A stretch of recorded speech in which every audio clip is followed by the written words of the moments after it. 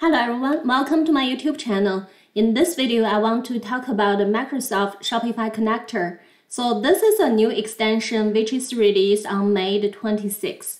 So you can see the functionality here described. So it can support multiple Shopify shops and also it has the bi-directional synchronization of items or products.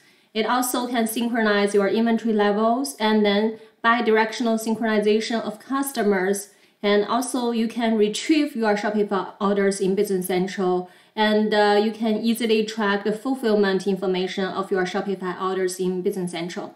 So um, this was planned if you go to the release notes and um, for this release was planned if you go to Business Central the 2022 release wave one plan for Business Central and you can see it under what's new and planned. The Shopify connector was planned. The general public availability was May 11th, 2022, but it was a little bit delayed, so it was released on May, May the 26th, 2022.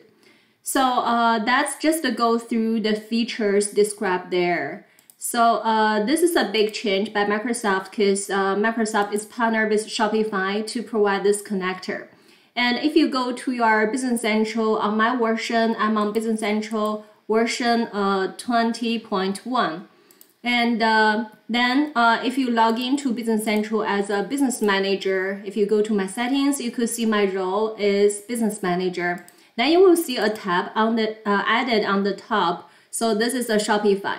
And uh, it has a bunch of uh, subtabs, which is shops, customers, products, orders, gift cards, transactions, and payouts.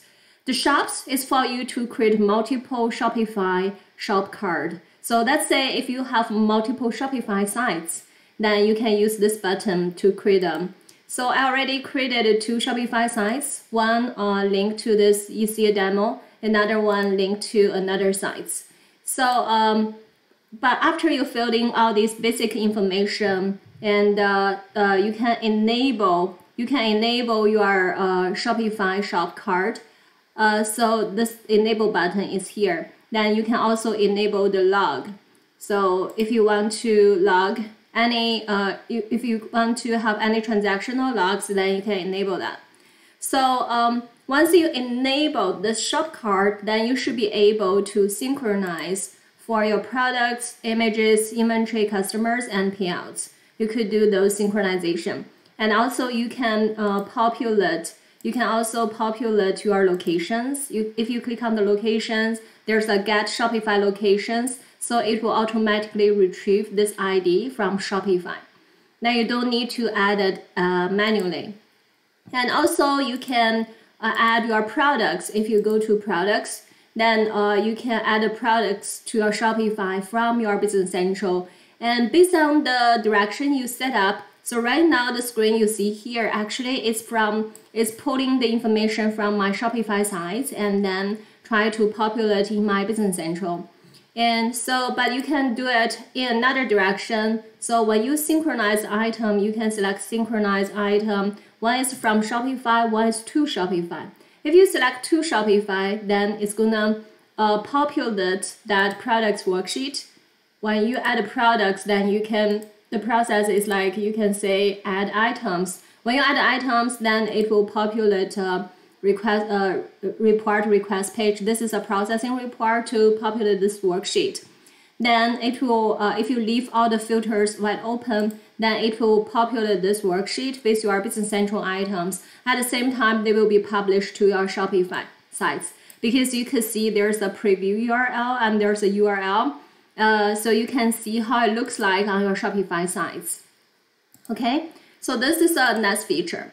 So you can do the items both way and also uh, for the for the uh, the ship, ship for the shipment method and payment method, you have to manually enter these by yourself. This some this these are the basic setup you have to do, and uh, for the orders, you can synchronize all the Shopify orders. You can see I already retrieved these orders from my Shopify sites.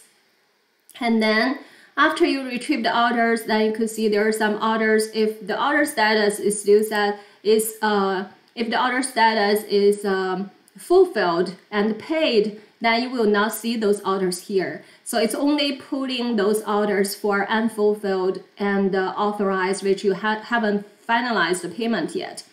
So um, then they will be able to show up here because for those paid and fulfilled orders, there's no further actions you need to do from your Business Central. So that's why they're not pulled in.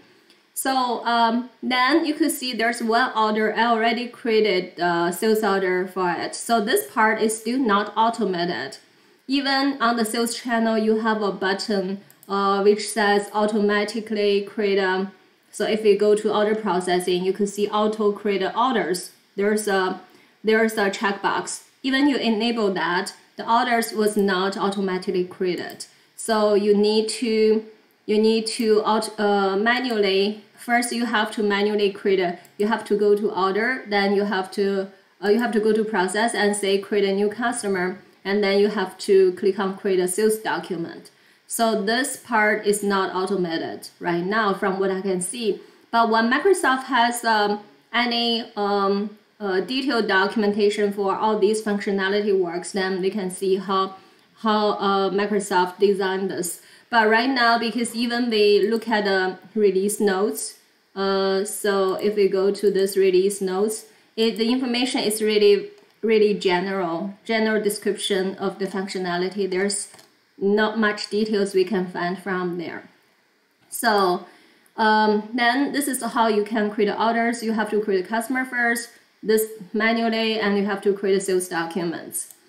And also it added some functionality for the gift card. So if we look at the um, gift card, let's go back to our uh, main uh, role center. So you could see here, there's a gift cards. For the gift cards right now, um, so I added a gift card manually. I have to manually add this ID. Uh, you can get this ID from the URL of the gift card page on your Shopify admin portal.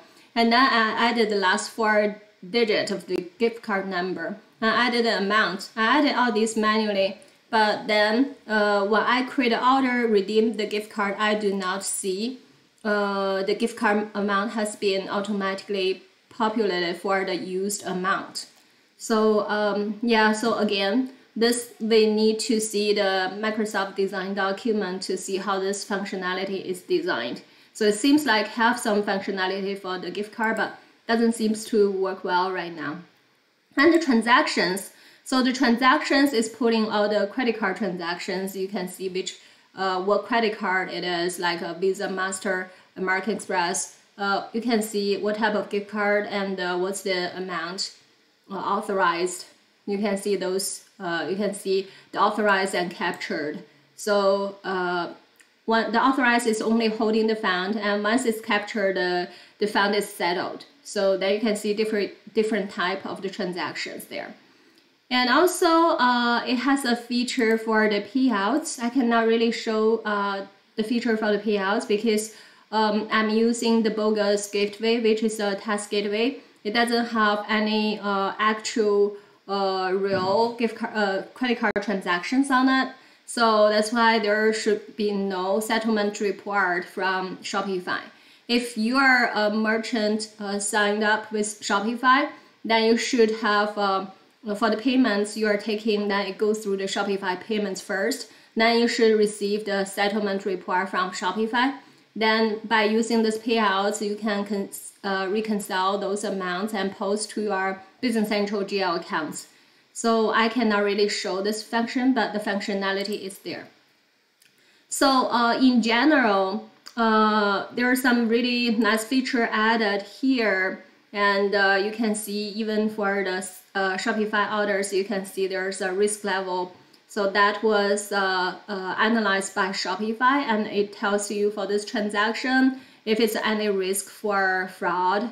So um, then it gives you a risk level low high medium and so this is a nice and um, also it provides some uh, right away uh, visibility for how it looks like on the Shopify sites. Like when we publish the items, then it, there's a link for the items, then you can see uh, from those links. Then if you click on those links, you can see how it looks like on your Shopify sites.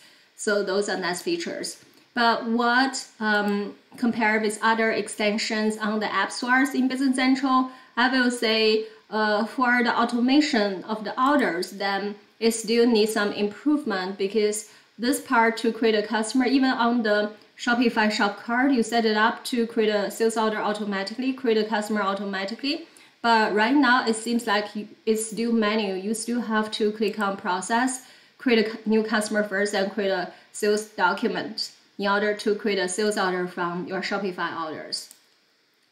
Okay, thank you so much for watching this YouTube video. I hope to see you guys again next time.